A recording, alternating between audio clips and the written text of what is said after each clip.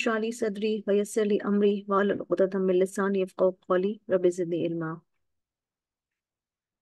How is everyone, children?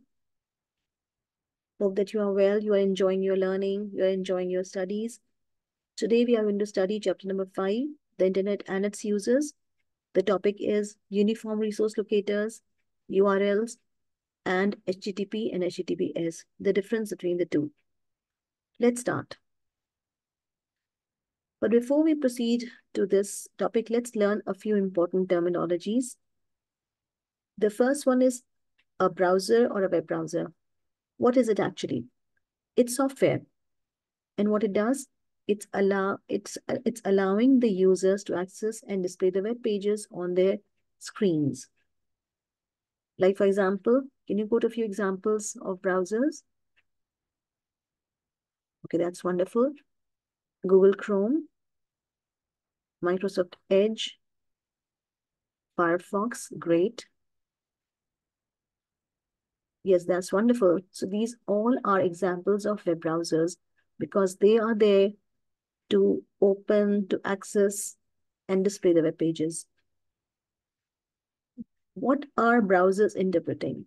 They are able to interpret hypertext markup language or HTML. And this HTML is sent from, from the websites and it is able to produce the results on the user's device, on the user's screen. Uniform Resource Locator or URL, what is it? It's basically a text address that we write, that we type in order to access a website. Now, another important term that we need to know is HTTP. What is it and how is it different from HTTPS?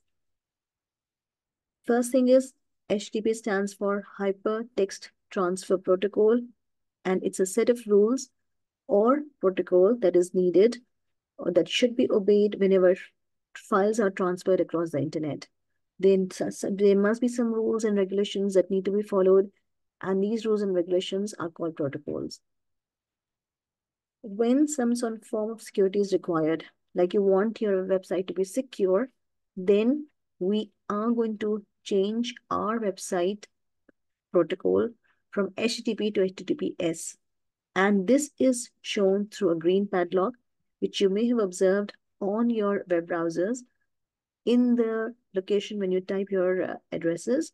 So you must have encountered, you must have seen HTTPS written, and this is indicating your website is a secure one.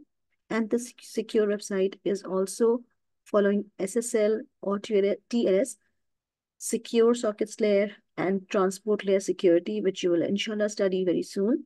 And that will be making your concept much clearer. Whenever you include S, it means that your website is secure or it's secured and it indicates that a more secure way of sending and receiving your messages, your data is happening on the internet.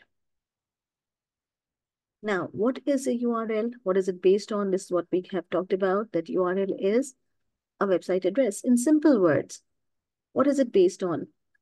Whenever you type a URL, then you must have seen that this is what we normally see or what we normally follow. The first one is protocol as we have just talked about HTTPS. Then the next thing after a colon sign and two slashes is your website address. After the website address is the path through which the uh, file is searched, the location is accessed. And lastly, we have the file name. As you can see, www.hoddereducation.co.uk is your website address. Its path is actually the default uh, location, the drive, and its file name is ICT. Now let's learn each of these separately. The first thing is protocol, like we have talked about HTTP or HTTPS. Second thing is the website address. And this website address is broken down into the first thing domain host, which is www or World Wide Web. And you have already studied it uh, in an earlier uh, topic, 5.1. That's wonderful, Ali that we have already talked about www and internet in the earlier uh, discussion. Second thing is the domain name or the website name. Then we have the domain type, like is this website a commercial site? It will have .com. If it's an organization, it will be .org. If it's a, a network, it will be .net, similarly .gov, similarly .edu. So this is denoting the domain type. Which category does it belong to? And then lastly, in this website address is the country code, which is sometimes present to indicate the country where the website is. For example, .uk, .pk. Similarly, we do encounter some other country codes also as a part of the website address. Any questions? Are we clear? Then we have the path.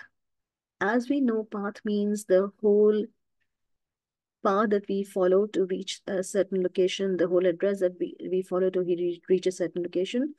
So similarly here, path is the web page, but in some situations it is omitted because it has become, and then it becomes the root directory of the web, website, the main web, the main location of the website. It's sometimes omitted, otherwise it is definitely going to be there.